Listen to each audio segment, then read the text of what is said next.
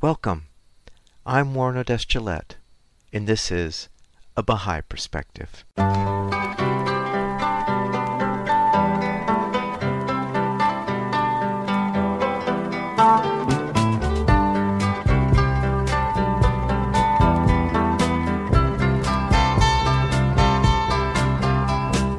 Welcome to A Baha'i Perspective. I recorded an interview with Andrea Hope on November 30th, 2020.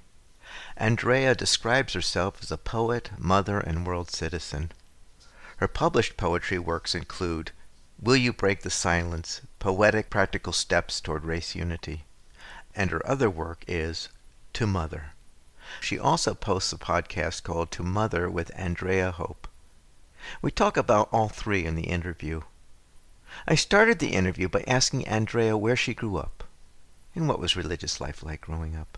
I actually grew up in Freeport, Bahamas, because my great grandmother was a Baha'i. So she became a Baha'i in her 30s, and then she went pioneering, which is meaning that she went to go to another country or area to help the Baha'i community there and she needed to go somewhere warm because she had some issues with her arthritis of her joints. So she ended up going to the Bahamas. And then my great grandmother raised my mom and her brothers, and I ended up also being born in the Bahamas. So my great grandmother being a Baha'i and having a very significant role in raising me along with my great grandfather, who was also a Baha'i uh, yeah, they taught me about the Baha'i faith. And I also went to Christian Baptist church with my mom for several years. I would say probably until I was in middle school.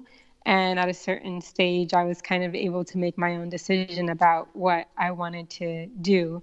And I just remember I was always a very, very inquisitive kid in school and in after school activities and everything. And I remember that the Baha'i community was the one space where it was really encouraged.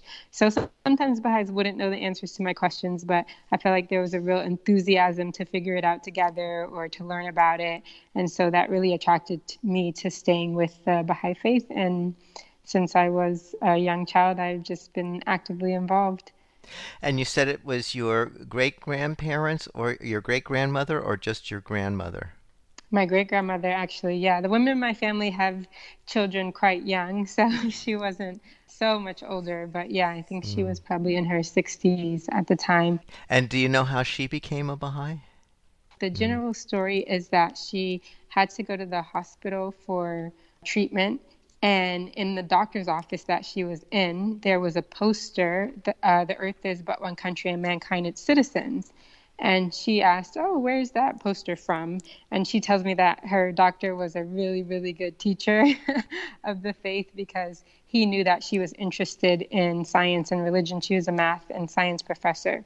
So he said, Oh, you come over to my house and my wife and I will tell you more about it. So she went to a few what were called firesides where they would gathered together with the purpose of deepening in their understanding about the Baha'i faith or spirituality. And she said he really focused on this balance of this harmony of science and religion, which was really important to her being Catholic and also being a science and math professor. And that's really what drew her to the faith. And then my great grandfather, he was active with her for a while, but he actually didn't sign his card to be a Baha'i, to register officially as a Baha'i until a couple years later. So that was always an interesting story in our family. Um, my grandmother used to, great grandmother used to ask him every morning, oh, Are you going to sign your card? Which was kind of a funny thing to do. And he would always say no. And then eventually he did sign, and he said that he knew that if they were going to do it, it was a commitment that they needed to have as a family. So he wanted to make sure that my great grandmother was fully committed to changing face before he also joined, but he was always very involved in it. And I think it was a really uh, wise and, and wonderful thing that they could do together.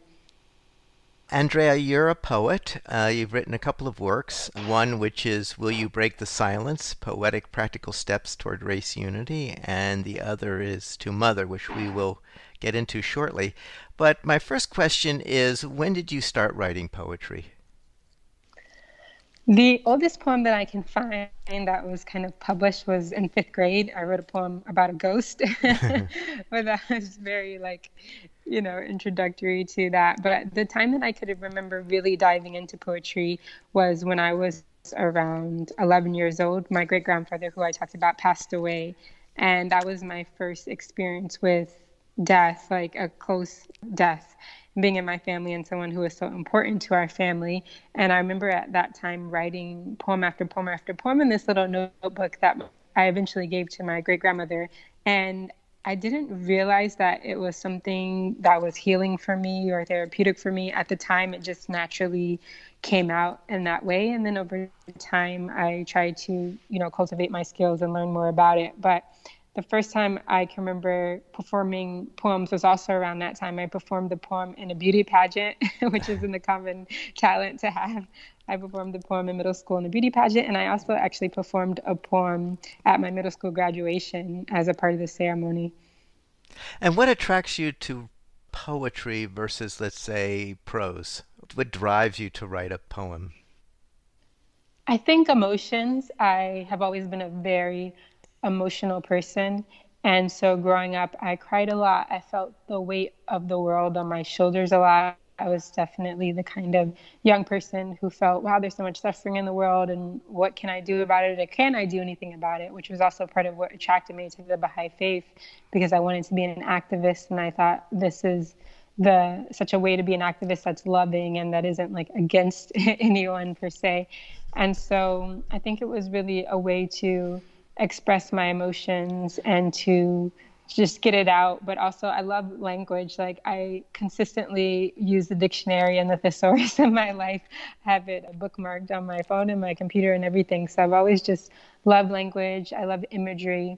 I think sometimes with prose, I can get maybe overwhelmed or maybe I don't have the attention span. So, poetry is kind of an elevator pitch of your emotion no reaction to something. So it's kind of an elevator pitch of your emotional reaction to something. And I really liked reading poetry and editing poetry as well and performing poetry. Your poetry work entitled Will You Break the Silence? Poetic Practical Steps Toward Race Unity. I mean, that's a very interesting title. What will readers find in this work of poetry?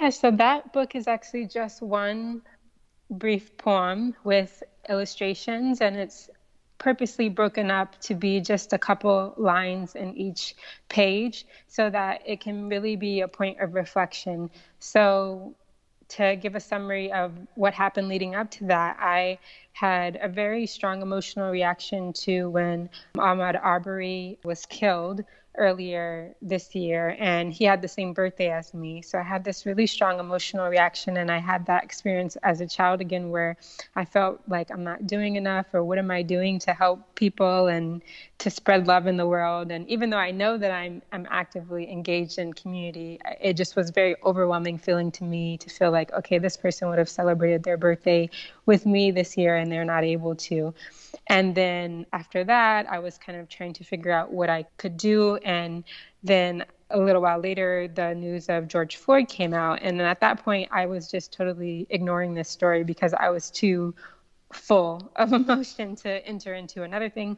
But people kept posting about it and posting about it. And I thought, okay, I have to read about this and learn about this because I can't be blissfully ignorant. Like I have to be aware of what's going on in the country, even if it's uncomfortable. And so then after that, I created a video like a lot of African American artists have done asking people to speak out and to have the conversations that you know dig into these issues and address these issues bec- before they become dangerous and violent and the response to that video was really heartwarming. So many people reached out saying, I wish I could do more, but I'm not sure what to do. Or, you know, I want you to know that I'm with you. And people emailed me personally.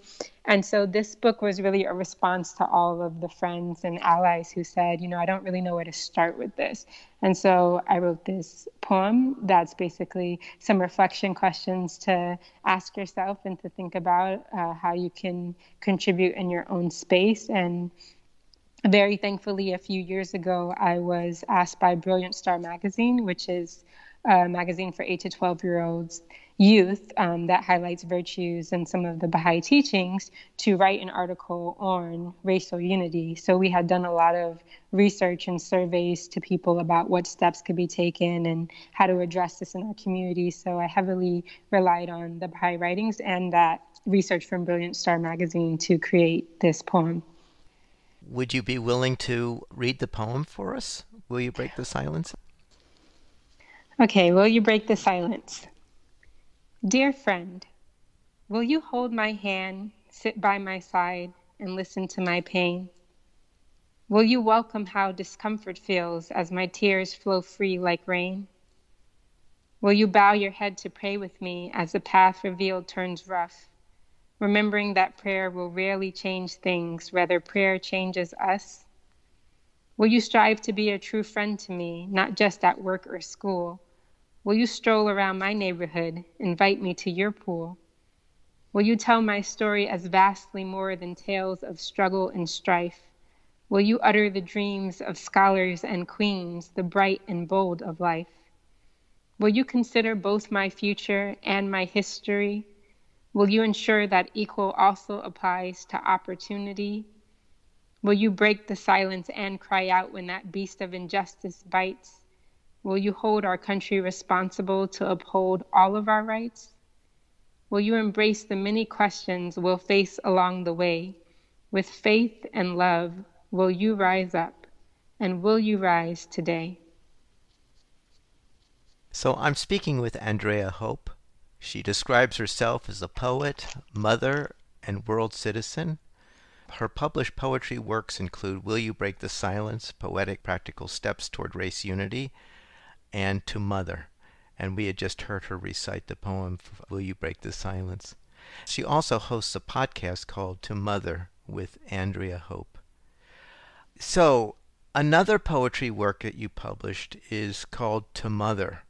So, tell us about that one.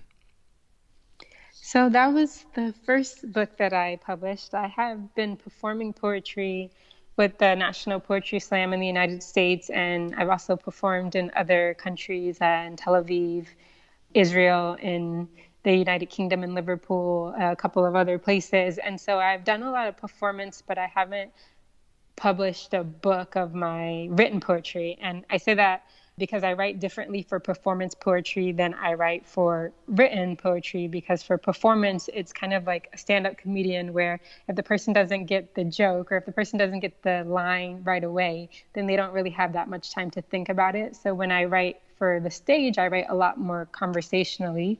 But the poems that I've written for the page are more with the understanding that someone can take their time, they can reread it, they can gain their understanding as they go through the book and so I wanted to publish some poems uh, separate from what I was doing on stage. And I was really just looking through the poems that I already had to see what kind of themes naturally are coming out in my poetry. And a very strong one was motherhood. I have a great relationship with my mother and uh, my great grandmother who passed away a couple years ago. And then I have two children. Uh, my husband and I have a daughter and a son. And so this theme was really coming up a lot in my poetry, and I decided to explore that more. And so I divided it into four categories of the joy of motherhood, the heritage of motherhood in my family, the challenges of motherhood, and the lessons that I've learned. So I divided to mother in um, motherland, mother lode, mother temple, and mother tongue are the four sections of the book. Would you like to read a poem from To Mother? Sure. Okay, so I'll read the poem that is from the title of the book to Mother. And part of the purpose of the book was honoring motherhood, not just in the biological sense, though I believe that there is a very special connection um, biologically between parents and children, but also people who have been like mothers to us and the idea of mother in terms of like the mother book and religious history or this term of what it means to be a mother. So I tried to capture the different aspects of motherhood in this poem, which is the title of the book called To Mother. Motherland, mother lode, mother temple, mother tongue, mother wake, mother work, mother worry, mother run To your side, to your rescue, to your dreams, mother comes. By marriage, by fostering, by adoption, by birth. Mother of one, mother of all, godmother, Mother Earth. Mother to loss, mothers lost, mothers found, mother become. To uplift, to take pride, to sacrifice for another, to mother. So I'm speaking with Andrea Hope. She describes herself as a poet, mother, and world citizen. Her published poetry works include Will You Break the Silence? Poetic Practical Steps Toward Race Unity, and To Mother, which she just read the title work from, the poem To Mother. And she also hosts a podcast called To Mother with Andrea Hope. So let's talk about your podcast, uh, Andrea what will people find when they subscribe to your podcast? Yeah, well, I have to say, I was very much encouraged and inspired by this podcast called Happier with Gretchen Rubin. I don't know if listeners have heard of it, but uh, Gretchen Rubin, she's written several books about happiness and about balance. And I really loved her podcast where she gave practical tips and resources, and she hosted it with her sister, Liz Craft and she gives practical tips and resources that you can try every week to make your life happier. And they often talk about family life because they both have children. But I was listening to this podcast thinking, wow, it would be so great if I could have this kind of podcast that also had a spiritual component to it and that drew from the writings of the Baha'i faith, and I couldn't find one. So I said, okay, I'll make one. So partially the podcast is for me to help me reflect on how to apply the writings of the Baha'i faith to being a mother or being a parent in general. And so I try to be pretty disciplined about having a quote from the Baha'i writings on a particular topic, whether that's infants or toddlers or whether that's celebrating holy days as a family or anything like that. And then I try to give a living the life tip, which is a very practical tip of something that you could try out with your children or your family. And then I give a resource and I try to highlight a Baha'i artist or website or podcast or something like that because at this stage in the Baha'i faith, sometimes it can be hard to find, you know, resources, where to find books or different music or projects or things like that. And then I often end with one of my poems. So, because I have quite a few poems, it was really natural to end with a poem, or I choose someone else's poem that fits the subject, and I read I read their poem. You have a current project in which you're working on the production of a children's book called Excuse Me, Teacher, which you describe as a picture book for super teachers. So, what makes this book a picture book for super teachers? Yeah, well, this is my second picture book. I actually have a picture book called A is for Alawapa that is different terms from the Baha'i writings. And so I did that book, which specifically has terms that kids would find in the Baha'i writings. And then I wanted my next book to be something that would be more for uh, general communities to enjoy. And so I've always loved teachers. I've always felt that teachers deserve more respect and just their own award shows. Like they need a Grammys for teachers. They actually do have uh, teacher award shows, but they're you know not as as popular or as advertised. Um, but they do have international teacher award shows. So I wanted to write something that celebrated the role of a teacher. I think especially even during the pandemic, people are understanding a bit more how much creativity and resourcefulness and really drive it takes to teach. And so that's why I wrote this book, Excuse Me, Teacher. And I worked with a Brazilian artist to try and really make sure that the pictures reflected a diversity of experiences. So there's a teacher in a wheelchair, there's a Hispanic teacher on the cover, there is uh, you know teachers with glasses there's a part in the book where someone's speaking in sign language so i really tried to represent the diversity of the classrooms and also to have it be kind of whimsical and also educational. So there are pictures that combine like you know science. They're building this rocket ship with a cardboard boxes but they're on the moon. So it's kind of combining fantasy and the realistic classroom environment. Why the title excuse me teacher At least when I was little, I don't know about kids today. I have to ask my nieces and nephews, but that was a very common thing that you would hear. Excuse me, teacher. Excuse me. Can I go to the bathroom? Can I do this? Can I do that? So I thought it would be kind of a cute, a cute thing to to title it. And how's the project going? Yeah, it's going well. We had a Kickstarter running from it that ended, and the project hasn't been fully funded yet but I'm working with someone who is interested in pre ordering some of the books. So the illustrations are done, and then we just need to see like when will be the best time to launch it and get it out there to people. I'm thinking maybe in the spring because that's around where Teacher Appreciation Week is, so that might be a great time to do it. Andrea, you have a website, andreahope.org. What will people find when they land on your page? Pretty much all the things we've talked about today.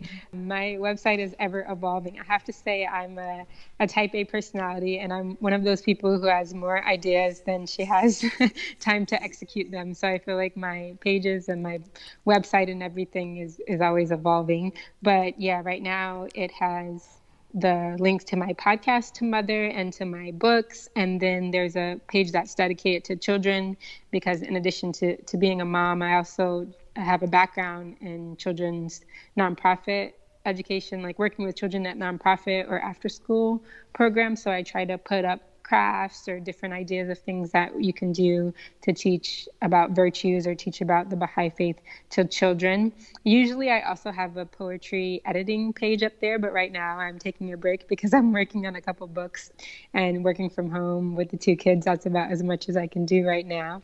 But yeah, generally, you'll find those three aspects my poetry editing, my podcast, and my children's resources. Well, Andrea, I want to thank you so much for sharing with us your creative output. It's really quite interesting. Thank you so much. Thank you so much for having me. I hope you enjoyed that interview with Andrea Hope, poet, mother, and world citizen. You can find her online at andreahope.org. You can find this interview and other interviews on the website a Baha'iPerspective.com and on the YouTube channel A Baha'i Perspective. For information specifically on the Baha'i Faith, you can go to the website baha'i.org or you can call the number 1 800 22 Unite. I hope you join me next time on A Baha'i Perspective.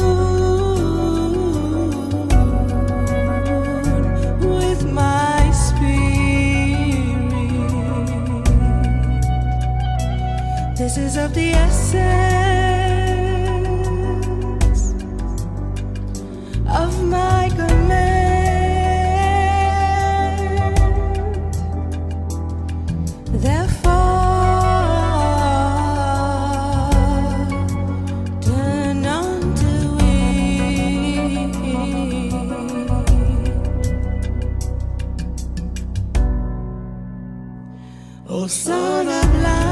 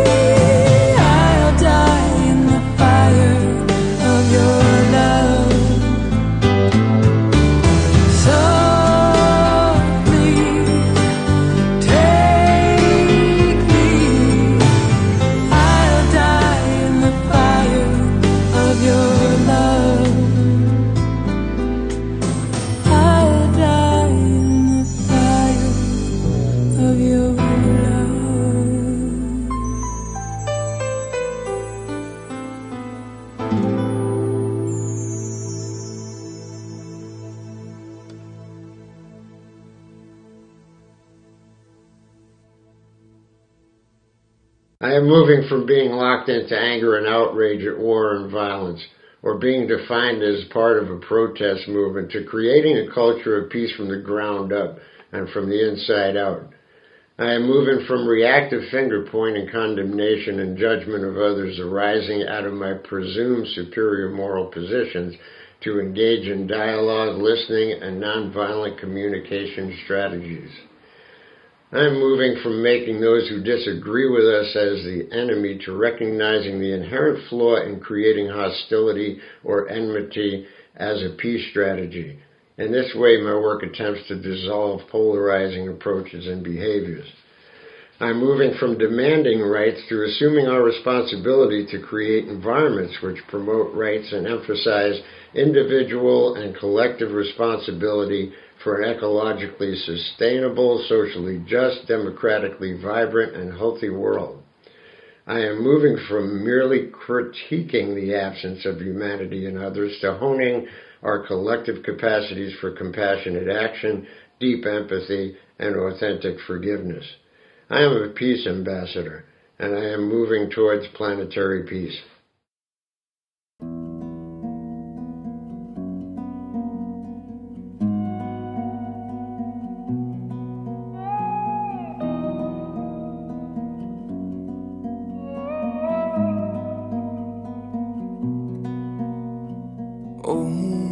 Friend, thou art the day star of the heavens of my holiness, of my holiness. Let not the defilement of the world eclipse thy splendor. Eclipse thy splendor.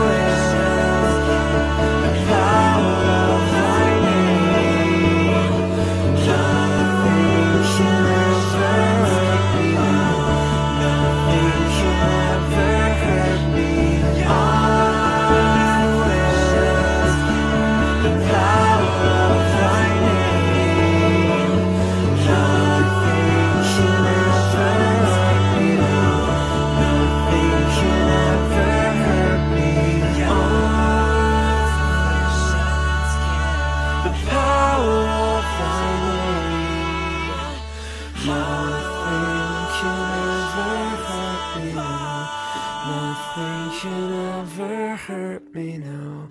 Nothing can ever hurt me, no. Nothing can ever hurt me.